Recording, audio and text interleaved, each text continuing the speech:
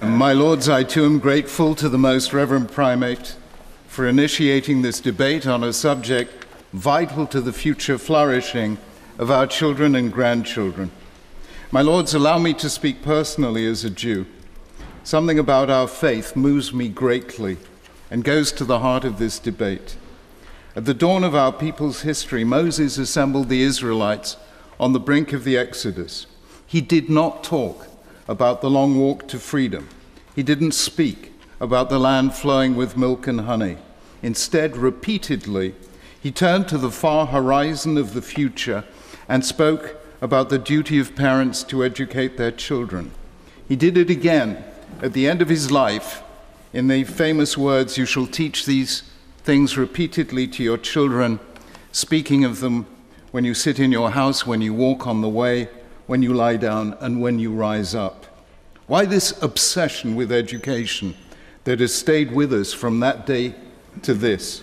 Because to defend a country, you need an army, but to defend a civilization, you need schools. You need education as the conversation between the generations. Whatever the society, the culture, or the faith, we need to teach our children and they theirs what we aspire to and the ideals we were bequeathed by those who came before us. We need to teach them the story of which we and they are a part.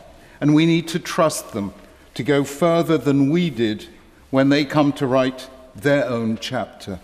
We make a grave mistake if we think of education only in terms of knowledge and skills, what the American writer David Brooks calls the resume virtues as opposed to the eulogy virtues. And this is not woolly idealism, it's hard headed pragmatism.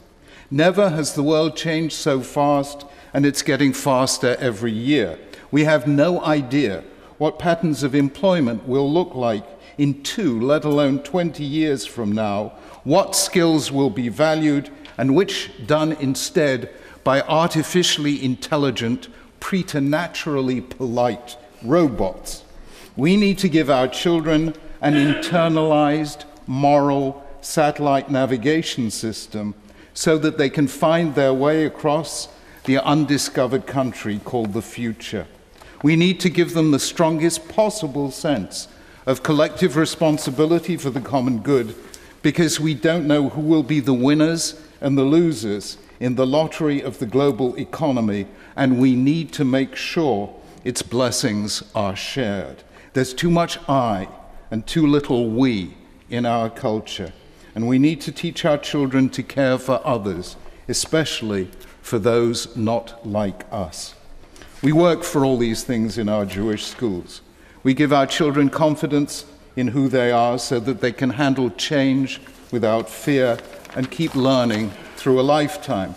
We teach them to be not just proud Jews, but proud to be English, British, defenders of democratic freedom, and active citizens helping those in need. Schools are about more than what we know and what we can do. They're about who we are and what we must do to help others become what they might be. The world our children will inherit tomorrow is born in the schools we build today.